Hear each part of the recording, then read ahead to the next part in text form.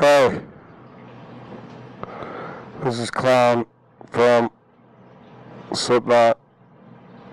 You're watching. Keep going, man. There you go. Where you at? Huh? See, I got you. You're watching Loudwire. What's up, everyone? This is Loudwire's coverage of the 2012 Heavy MTL Fest, and as you can see right here, I'm sitting with Clown from Slipknot. Thank you so much for your time. I really appreciate it.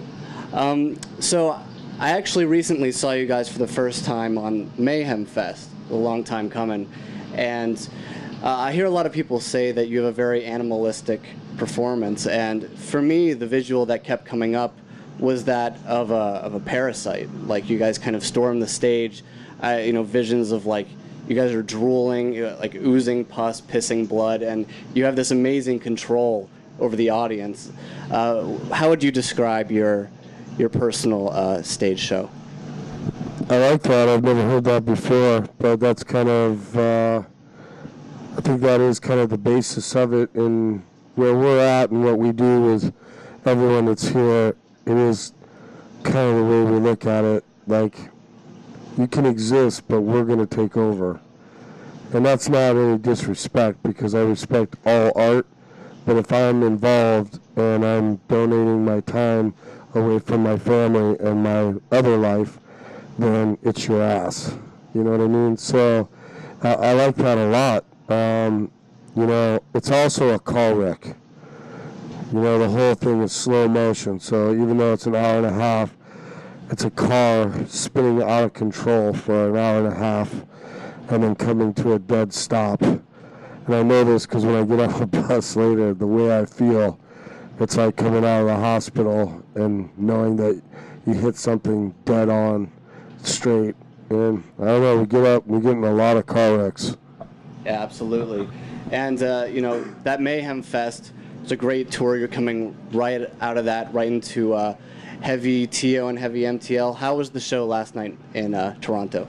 It was good. We liked it. It was uh, a lot colder there than it is here, so I'm a little extra angry today. I feel like I'm swimming. And when you're on stage, it's like huffing water, and that is no fun. Uh, but it was great. You know, we love Canada. Um, you know, the kids are always great because they have to wait a long time for us to get up here. Uh, so you can see that hunger and that urgency, you know, and that's always, that's awesome, you know. Um, really get up here, I don't know, you know, we're on a tour cycle, maybe, maybe a couple times, you know. I mean, we'll do Canada proper, hit all the major um, areas, and then we're lucky to come back up, you know. So it was awesome last night. Um, we're to go for it hard tonight because we're out of here back to the States and we have two shows left. And then we're going to be off for a while. So these three, you know, this is the last show really of our touring cycle is tonight, you know. So we're going to go extra hard. And then the last two shows are Knotfest. So that's a whole different thing and mindset. There'll be other songs that we're going to do since it's our festival. Uh, so tonight's on because this is literally the last show. You know, Mayhem to tonight, it's all kind of one big concept, you know. So tonight, last show of the tour, pretty much. And you know, you're speaking about Knotfest, which is uh, obviously your personal festival that you guys have really created from the beginning. And uh, how what do you visualize when it comes to your performance of that show? Because the entire thing is going to be very carnival based and very dark vibe, uh, and it's om- I feel like it's almost going to be like your stage show spread out in the entire uh, crowd and the entire festival grounds. Is that what people can expect? Yeah, it, that's basically what it is. You know, that's the mindset behind it is to bring our thoughts to an entire festival sitting. So if you're not scared walking in the door, then I've already failed. But uh, you're getting squirted with a scent the minute you walk in. And it's like you walk in and you got a scent on you all day. You're going to smell like Slipknot.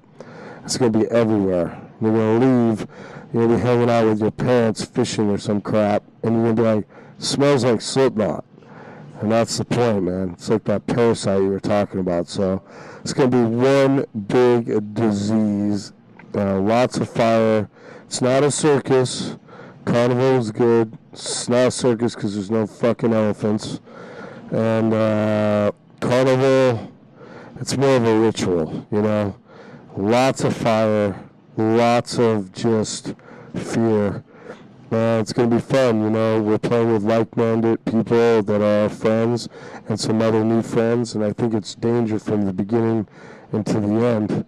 And it's awesome to be able to give the fans a whole day of something we put together musically, you know, and then the rest of it, you know. So pretty excited, you know, pretty excited. I got to go back and uh, I gotta dig out all this crap of ours and take it to our museum that we're putting putting in, and that's.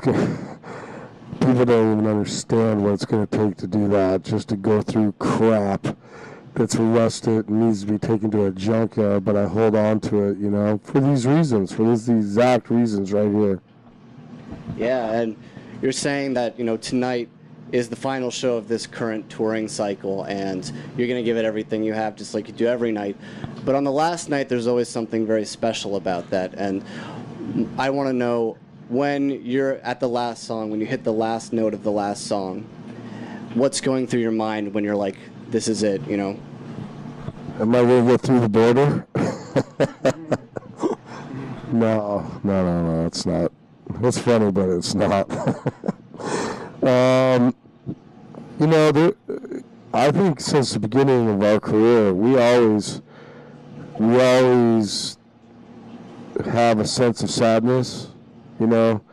Um, but but the sadness is that the whole time we've been working to get to the end because of how brutal we are. But then you get to the end and there's like a revelation. You know, we're like, we did it again. We made it. Everybody's still here you know, a few bad things have happened here and there, blah, blah, blah, a lot of pain, you know, but uh, it's sad to go because we, we always say, oh, I could do this for another 10 weeks. So that's the first thing that starts coming out. Uh, but at the same time, we're really relieved for being able to get through uh, another thing. And, you know, it's just another notch in the knots history. You know, we can say, hey, we did this. You know, we can look back. So it's just a tonight's another great ending. You know, and another thing to look back on.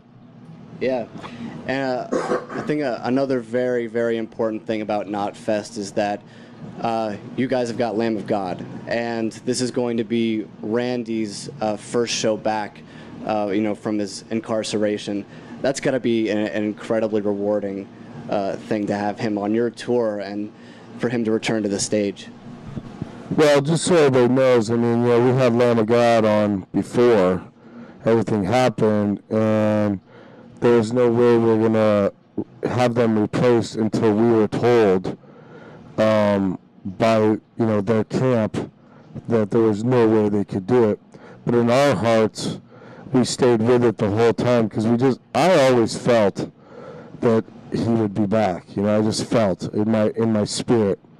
And we're just thankful, most importantly, that he's back with the people that he loves, his families, his you know immediate family, and his other family, and his band, and that's all we really care about is that he's back safe, and that he's you know returned to his loved ones and and and has a moment, and we're extremely honored to have him back. You know, but he's they're family, you know, they're friends so, you know, it's what was meant to be, you know, and that's why they've stayed on the bill the whole time. It's like they're going to be there. You know, we didn't know it was going to be his first, you know, back performance, you know. So we're, we're honored to have that, and I just think it's great for the kids, or the fans, I should say, you know, of all ages. I think it's great for them, you know. And I'm not the kind of guy that's going to walk up to Randy and go, "Hey, give me the whole story." You know, I'm going to give him a hug and tell him I'm glad that he's back. And if he wants to talk about it, we can talk about it. But otherwise, he's just getting a big old hug from Papa Clown. Yeah. I wanted to get your uh, your take on that whole situation because uh, I mean that's something that could potentially happen to a Slipknot show, especially with all your your pyro and fire and everything. If someone managed to get on stage, it could be very uh, bad. Well, first thing I thought about was all the crap I did in 98, 99. And then 2000, 2001, 2002, 2003, 2004, 2005, 2006, 2007, 2008, 2009, 2010, 2011, and now 2012. I thought, uh-oh, this is bad. But I'll tell you what, I'm not going to tell you my secrets, but I've lay, laid in my bunk and I figured out how to know if that's coming before it comes. It's very simple. You just have to have people that fucking understand and take you seriously. And that's scary because uh, it can happen to anyone. And I don't know what's going on. You hear a million things. You know, Randy's going to have to talk about it and set the story straight. But, you know, we've all heard a million things. I've heard a couple things, and it goes pretty deep. Um, you know, I don't know, man. Art's art. If you believe in it, you do it, and you go for it. So, but uh, pretty frightening, you know. You know, a little, little scary, you know. They should just say, "Don't come," you know. Be like, "No problem, not going," Yeah. you know. So I don't know, kind of a, I don't know, you know, man. But uh, hopefully, you know, hopefully we quit talking about this. yeah, hopefully it won't be an issue for much longer. Uh, uh, you've just released uh, Slipknot's uh, "Wear the Mask" app. Uh, can you tell fans uh, what they can expect from that? Uh, very confusing, hard app that you have to try and figure out because everything is isn't very challenging. So it's a little bit challenging and probably I've heard this frustrating, but I made it like that for a reason.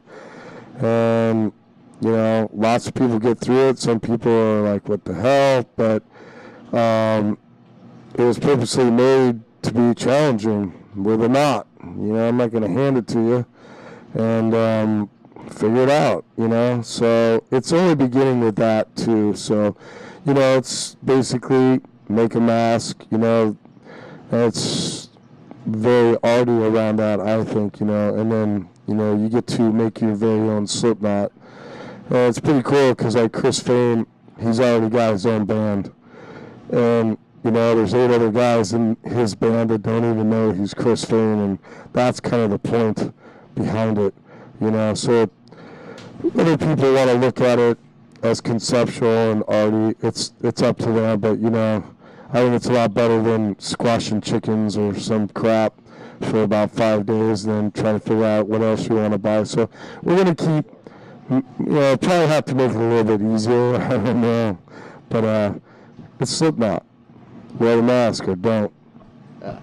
And I, I recently heard you say that once uh, once you finally uh, hang up the mask, that you wanted uh, your son to take your spot in the band. Uh, I was wondering uh, what what's his reaction to that statement? Is he is he up for the challenge? First of all, I come from my family, and my son's a set carp up on Slipknot stage, so he pulls the number two banner over every night. You know, and Paul used to live at my house and run my bar with me that we got signed in, and uh, you know, so he's you know he's a little kid on the stairs at two, three years of age in a diaper, playing drumsticks, and uh, I'd have to tell him to go up to bed because we were cussing so much, and he'd sneak back down, and you know, it's just a statement, you know, um, you know, it's a statement that if I ever were to go, you know, I'd want to keep it Slipknot. It's not like if I win, I'd want them to stop or it had to stop. You know, Slipknot's always something that is um, true in nature, and as long as it's true, um, you know, what for me the reason why I've said that is there would be no greater big honor than you know being able to leave and have your son who is a drummer and knows your stuff inside and out be able to take your place. I mean, that sounds like Slipknot to me. I don't plan on going anywhere for a long time. As long as it's still fun up there and I'm not held in some country or something. Um, and I'm going to be doing it, so it's good. I've heard, uh, I believe it was Corey who was talking recently about the difficulties of returning to touring after uh, after Paul passed away. Um, and but you guys have succeeded very much in that. Um, I was wondering if that same difficulty exists uh, when it comes to the studio and how you guys are going to be able to get past that and become successful once again in that endeavor. Well, as we all know, Paul, major writing force in the band. Um, we've been sporadically touring for two years to share the grieving process with our fans instead of doing it by ourselves and having them do it by themselves. We're doing it together, and that's why we're here tonight. You know, um, we got to do all of Europe last year. We've done Australia, one night at Rock in Rio in South America, just toured the States, Canada, a couple dates, and then ending it with Knotfest with a little fun, something that Paul even had been a part of talking about in the past. And, uh, you know, we're going to take some time off because we still, even though it's been over two years, you know, we got to be able to go into the studio calm, cool, and collected. Uh, because I'm not ready to walk into a studio and not see him. I just I can't do it. I just I won't be able to. I won't be able to play. I won't be able to think. I won't be able to hold my emotions. I need to be able to.